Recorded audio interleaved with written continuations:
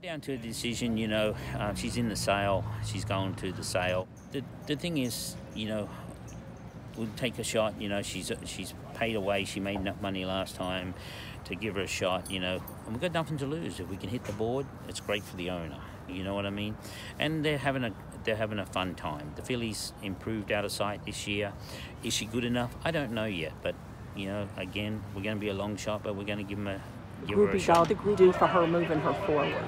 I'd give a grade three, a grade three winner. You know, that's the big thing. It, it added asset value to the film. You know, she was a grade three winner.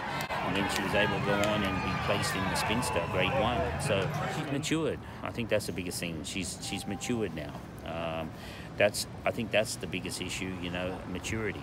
Um, I can't put down anything because early on she was a filly that would get hyper, get get uh, herself wound up. You know, try and run a race before she got out there. And now it's it's become to she's got into a comfort zone, into a maturity level, and she's doing things well. Your thoughts on her go taking on the last two Kentucky Oaks winners in um, Abel Tasman and Monomoy Girl, as well as Midnight Bizou. I need them to stub their toe. You know, uh, I need them fillies to stub their toe, and that will help me. If they don't, I'm, I may be in trouble. But you figure, like I said, there's nothing to lose and everything to gain, and all she can do is enhance her value for the sale.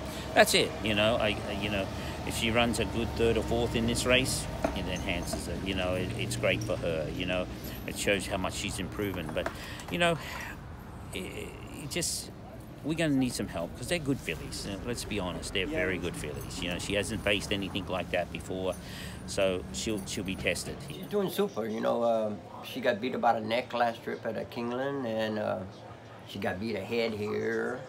She, you know, before that, I mean, the race after that, she won the Groupie Doll. So she's doing so good right now. Like Ian says, you know, if we're gonna do something good, now's the time to do it. So, uh, and you know, I, I believe that they're gonna sell after this race. So it, it'd be a big, uh, you know, it'd be a big thing if she'd run one, two, three.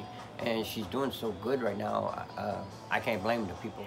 Just to reflect on her groupie doll win at Ellison, what did you learn anything about her that day? Well, she she's always been a little funny filly, you know, and uh, actually she rather be on the outside of horses.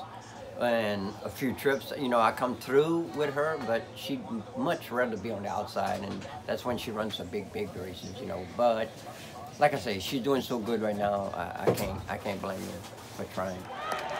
In, in her last two starts at Churchill and, and Keeneland in the Grade One Spinster, she just barely got beat by Blue Prize and both horses. Just sort of talk about the finishes of both those I races. mean, like I say, the other filly, you know, propping and doing some funny stuff down the lane, you know, but she only beat my neck that day, and uh, I know they're gonna have a big crowd, and that's really there, she's a little funny.